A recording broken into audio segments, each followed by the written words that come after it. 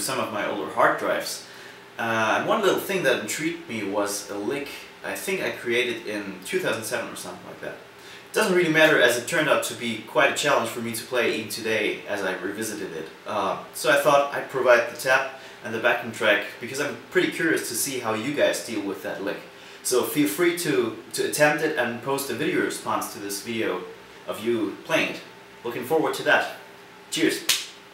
Okay, let's have a look at how this thing goes slow.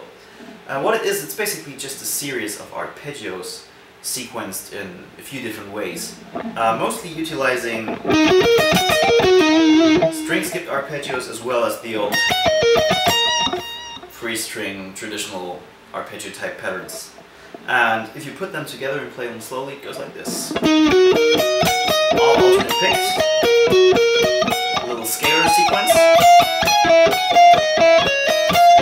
Sounds horrible when you play it slow because there's this E right here uh, that clashes with the E flat minor harmony. So it's just a ghost note because if you play it fast, uh, doesn't really matter. You, you don't you don't hear it. It's just something that fills up the space.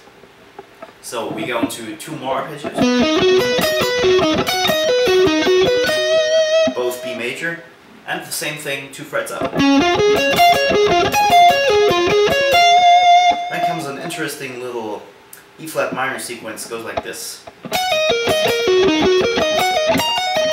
That's actually where I use some some pull-offs and sweeps.